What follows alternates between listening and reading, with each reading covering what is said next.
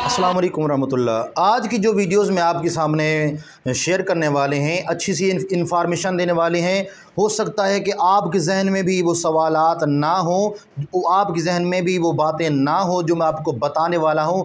اس لیے ویڈیو کو توجہ کے ساتھ سنیے گا۔ یہ ویڈیو آپ کے لیے بہت ہی اہم اور بہت ہی خاص ہونے والی ہے۔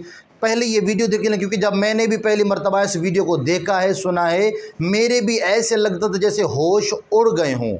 تو اس ویڈیو کو آپ نے اگر کلیکٹ کر ہی دیا ہے تو سکے بالکل نہیں کرنا، ورنہ آپ کو مکمل طور پر انفارمیشن کبھی نہیں ملے گی۔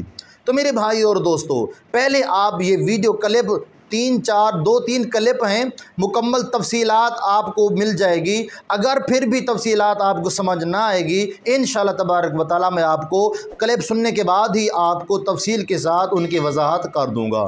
سب سے پہلے آپ بغیر کسی ٹائم کو ویسٹ کیے ہوئے قیمتی وقت کے ساتھ، قیمتی وقت میں سے وقت نکال کر آپ یہ ویڈیو کلپ لازمی سنیں پہلے۔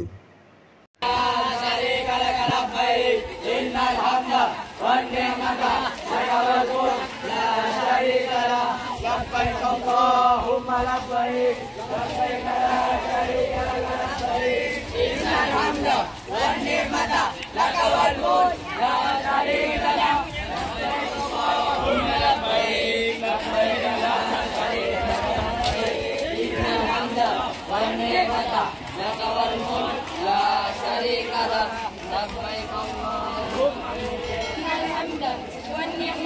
Agak cepat dikit, agak cepat dikit.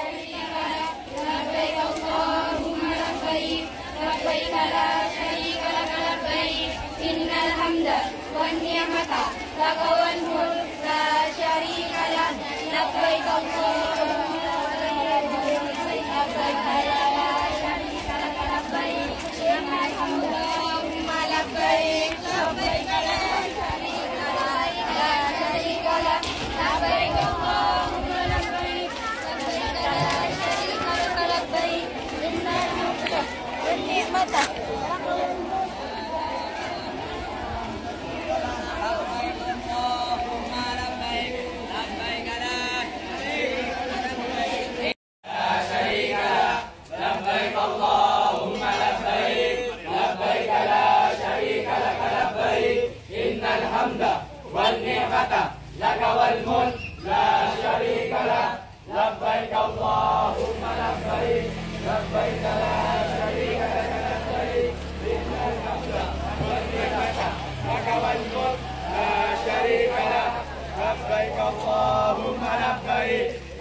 لبيك لا شريك لك لبيك إن الحمد